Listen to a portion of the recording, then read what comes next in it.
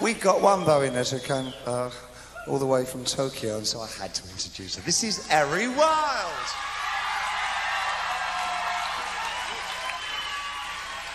Thank you so much, Eri.